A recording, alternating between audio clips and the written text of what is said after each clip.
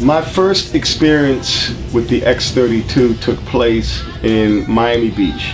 Somebody said, hey, this guy's got a new board, might work out pretty good. So we called each other up on the phone. And he was like, oh yeah, I got the new X32. Oh, and I was familiar with it. I had kind of heard about it. And I was like, cool, man, I wanted to check that board out. Fast forward to Living Colour. We're starting, uh, you know, to regroup, getting ourselves together, celebrating 25 years of Vivid we have, you know, we had dates that were striking up in Europe first to celebrate, the, you know, um, the record. I mean, the actual um, anniversary of Vivid coming out, and and I was like, you know, we need to record these shows. So my main concern was on stage to be able be able to have the same environment every night, in-ear monitors, be able to do the monitors on stage primarily, and floor monitors, and to record. There were people in my organization that were more or less like, well, let's you shouldn't use that. Maybe you should use something better and blah blah blah blah. I'm like we don't have the funds for that right now.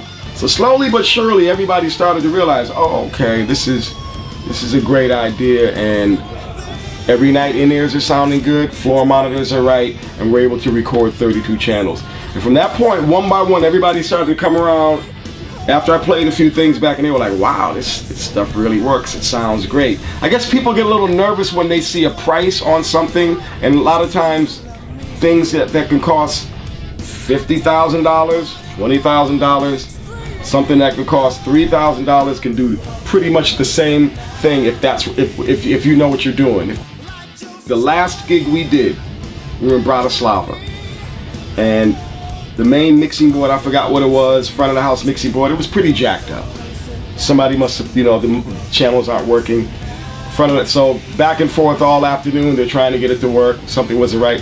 And the final, it was like, okay, let's take the Behringer. We're gonna use the Behringer at the front of the house. I'm like, okay, this is gonna be great. It went down to the wire too. So the person who was kind of like, well, I'm not sure about that board. It's funny how things are. You always gotta, you know, you always have to try to participate in something because the same thing you say you may not like, you might find yourself having to figure it out and control it. So, you know, at the end of the day, this, you know, Andy, our front of the house guy, he was a little reluctant, but he was, he was like, you know what?